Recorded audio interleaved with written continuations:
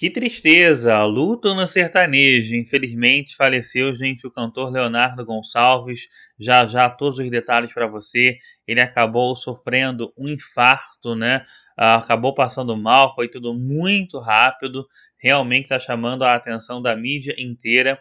Antes, um recado rápido: não esqueça de se inscrever aqui no canal. Só clicar no botão vermelho da inscrição, ative o sininho para estar tá sempre recebendo nossas notificações.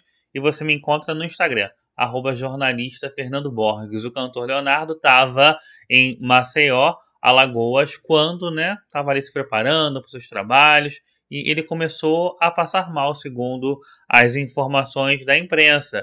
Chegou a ser socorrido, no entanto, né, chega a triste notícia de que, apesar né, de tudo que foi feito, dos amigos, de todos os cuidados que podiam ser feitos naquele momento, infelizmente chega a triste notícia de que o cantor sonsense uh, morreu em Maceió, o Leonardo Gonçalves, a gente vendo aí uma foto dele, realmente muito triste, nossos sentimentos aos amigos e familiares.